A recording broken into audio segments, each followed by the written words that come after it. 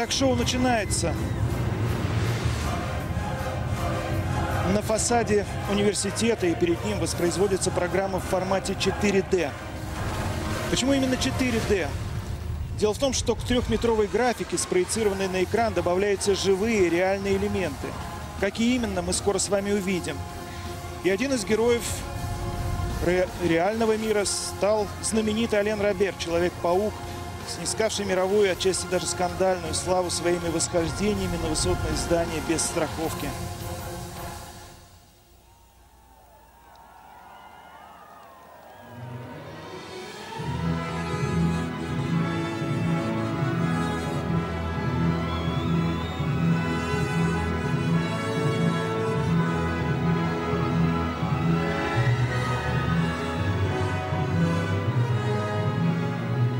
Создатель этого уникального зрелища австралиец Дэвид Аткинс, режиссер и продюсер, один из самых известных в мире постановщиков инновационных высокотехнологичных шоу.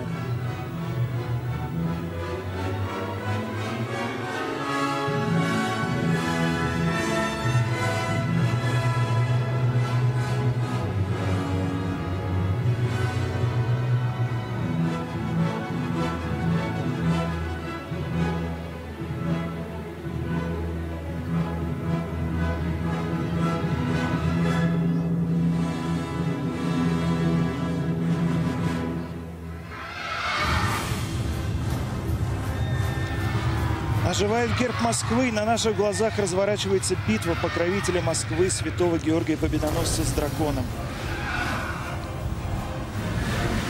По преданию, это одно из самых известных чудес святого Георгия – убийство копьем змея или дракона.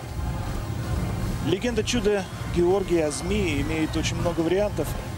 Мы с вами смотрим версию Дэвида Аткинса.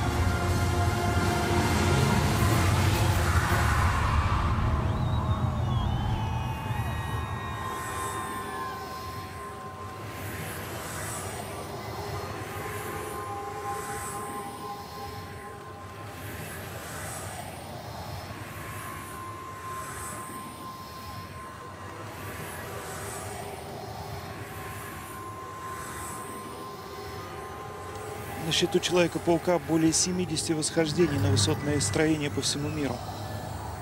Поскольку обычно он совершает свои восхождения без разрешения властей и владельцев зданий, его неоднократно арестовывали несколько десятков раз в разных странах мира. Именно за это он и был внесен в Книгу рекордов Гиннесса.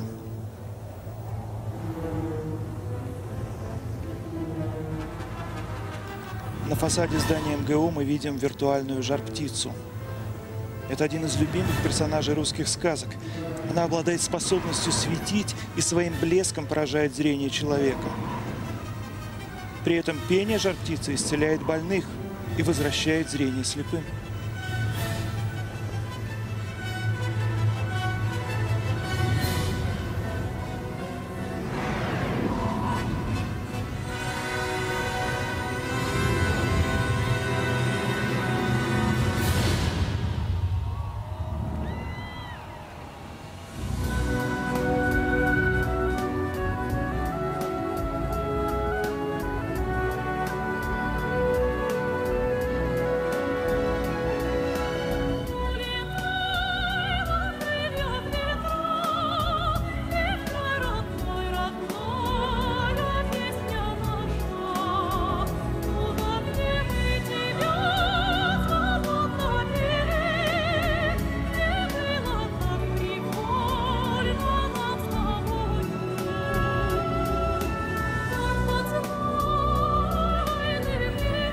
Виртуальная жар-птица воплощается в реальную звезду оперной сцены.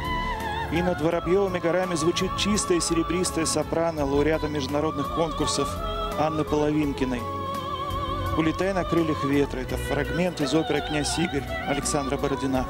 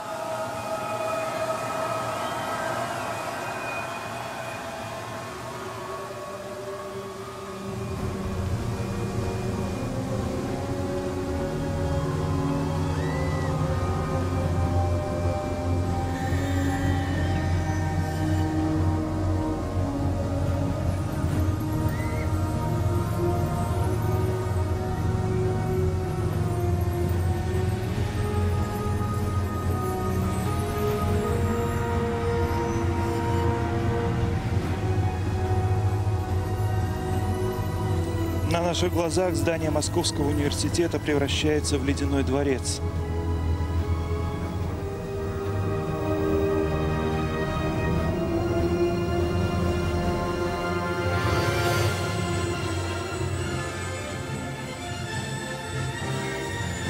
И в этом дворце, похоже, кто-то дает бал. Попробуй угадай, кто. В университете обучается около 35 тысяч студентов, 5 тысяч аспирантов, докторантов, соискателей и 10 тысяч слушателей подготовительных отделений. В общей сложности около 50 тысяч человек.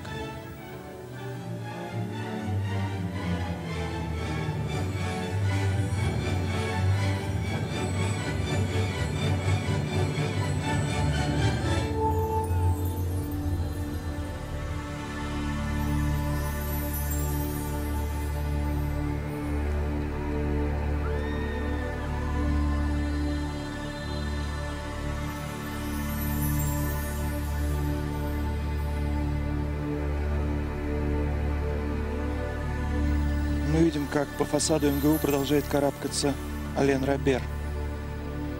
Немного напоминающий Энтони Куина на стене собора Парижской Богоматери.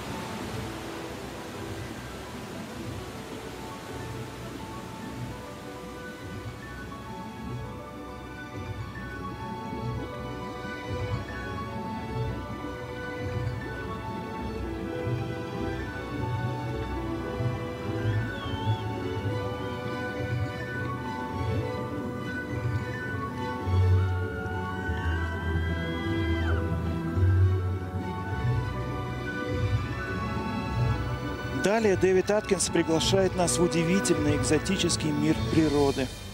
Каким бы он выглядел, не тронутый еще заботливой в кавычках рукой человека.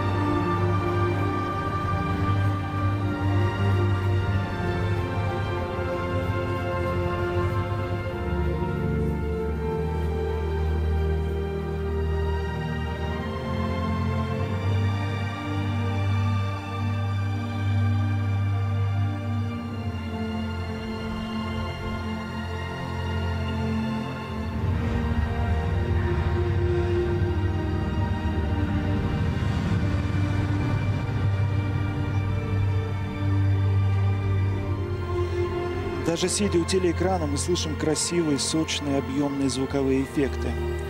Для того, чтобы всем зрителям от здания МГУ до смотровой площадки было не только одинаково хорошо видно, но и качественно слышно, задействованы 12 линий акустики, так называемая звуковая задержка.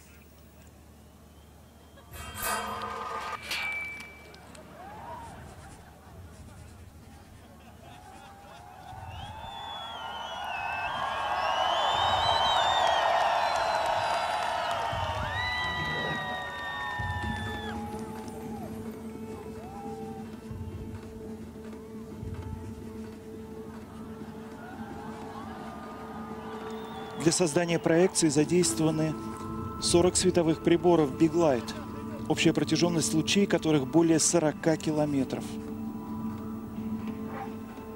Следующая глава нашего путешествия как будто переносит нас в конец 40-х, начало 50-х. Мы видим наброски, графическую идею будущего главного корпуса МГУ.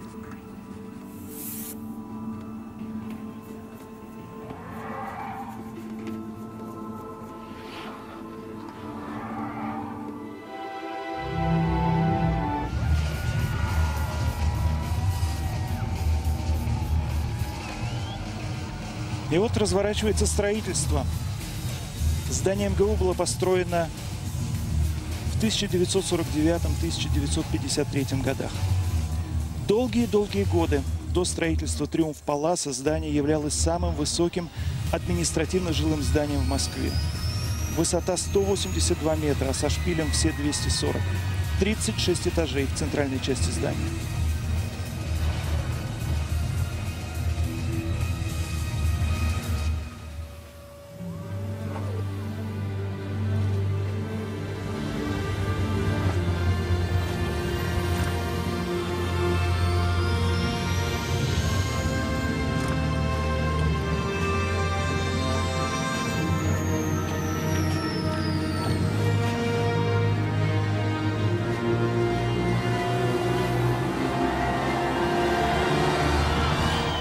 Вот мы отправляемся в путешествие по столицам и по самым знаменитым зданиям и сооружениям мира. Московским шедеврам, конечно, уделено особое внимание –